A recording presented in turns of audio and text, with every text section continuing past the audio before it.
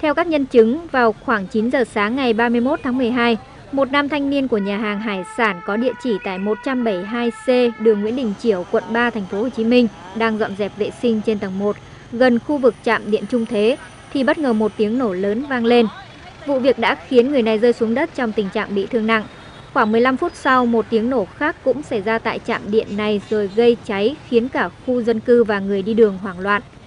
Ngay sau sự việc xảy ra, lực lượng y tế, cảnh sát phòng cháy chữa cháy thành phố Hồ Chí Minh đã nhanh chóng có mặt đưa nạn nhân đi cấp cứu, đồng thời dập tắt vụ cháy. Theo Điện lực thành phố Hồ Chí Minh, vụ nổ trên là do nguyên nhân nội bộ, xuất phát từ việc bất cẩn trong lúc dọn vệ sinh của nam thanh niên gây nguy hiểm mất an toàn cho hệ thống điện.